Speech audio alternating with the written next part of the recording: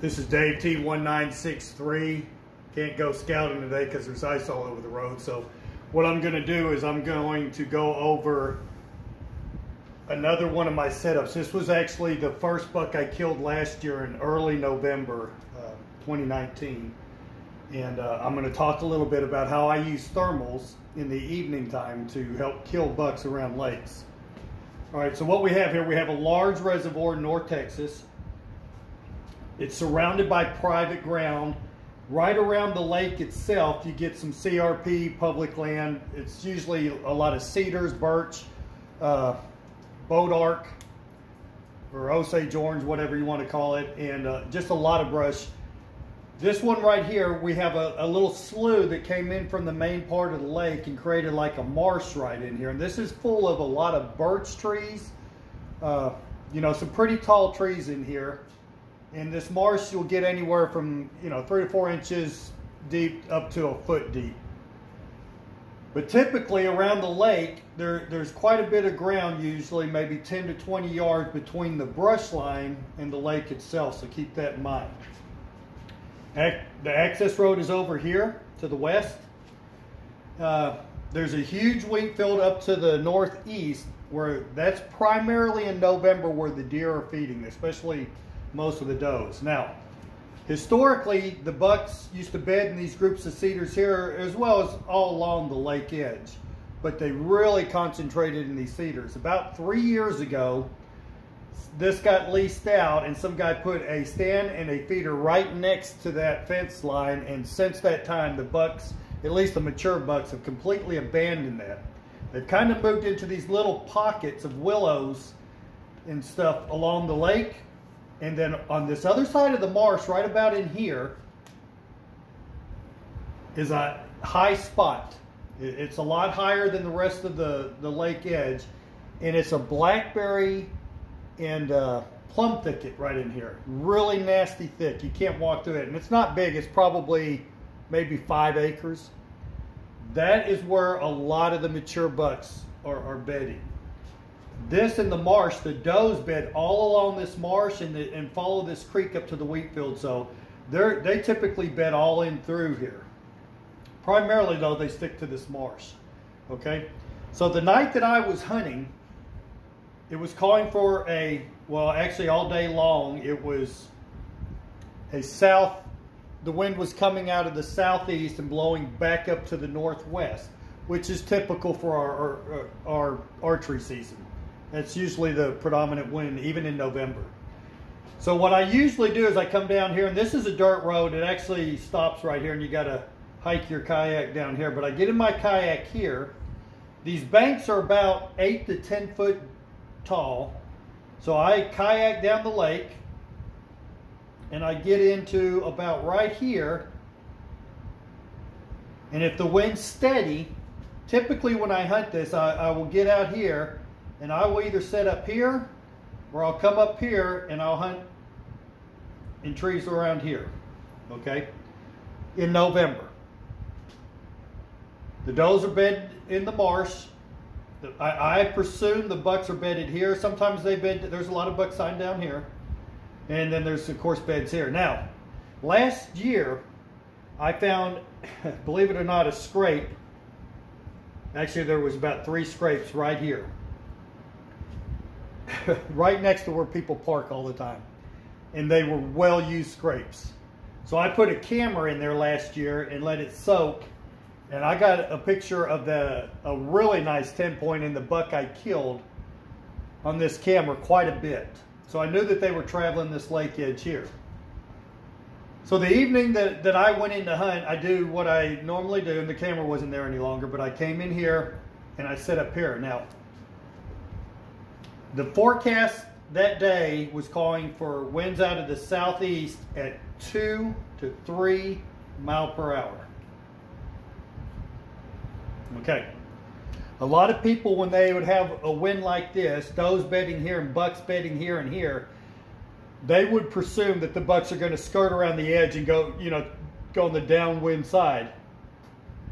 If this wind was blowing 15 mile per hour, 10, 15 mile per hour, I would agree with that. And that's why I usually set up there. But I was going to have two to three mile per hour winds. And why is that important? Because in my experience, the, the more mature bucks that get hunted hard will not leave their bed while it's hot outside, and they ain't going to leave their bed until the thermals kick in. So that's what I want to highlight here. I came in that night, and I, I'd never been in this tree before, but I set up right here and really, this is a lot of CRP with only scattered trees. There's not a lot of trees in there. I set up right here, okay, with the wind blowing back this way. I actually busted some does right here that ran back further into the marsh.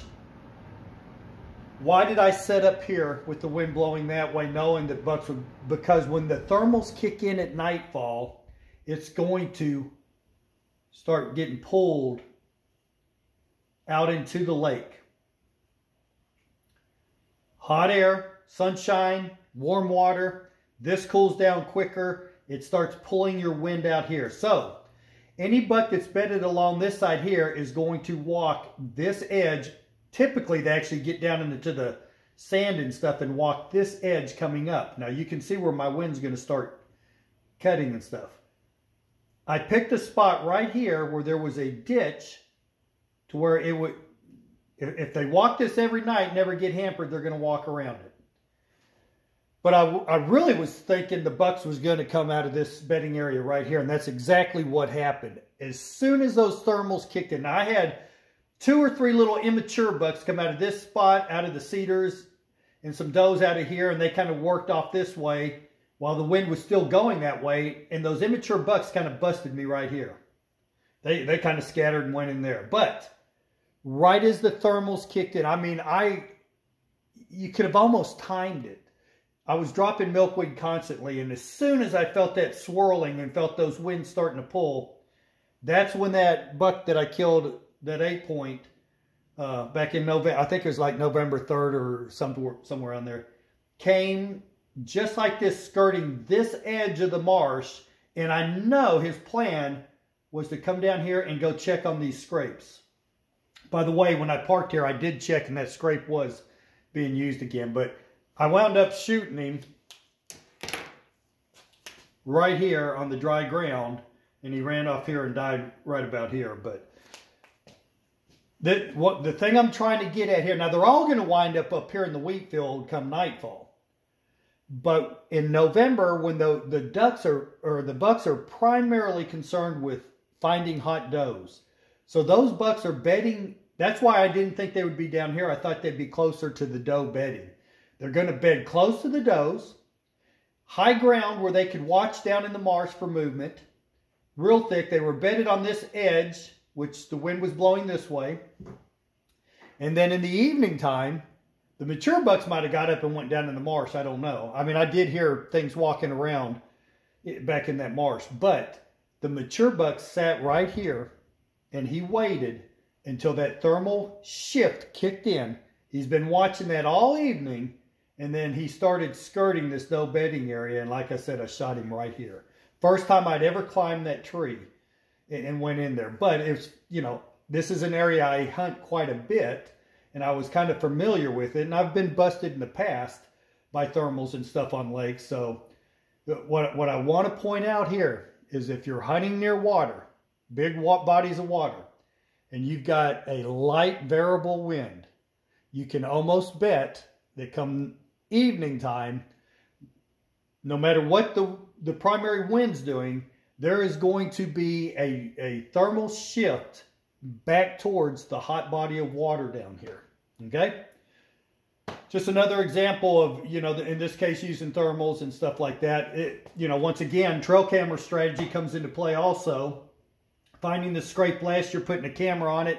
I let it soak all year. I didn't really think I'd get any daytime pictures.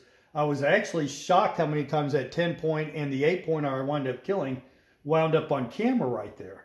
So, you know, having a camera here, I'd had some cameras back over here closer to the wheat field, back along the fence and stuff over here. And, and by the way, this this guy hunts all in here. So typically, I don't think these these bucks really make it past the the public land until well after nightfall. And to get here, there, there is access back down this way, but to get there is a two mile hike.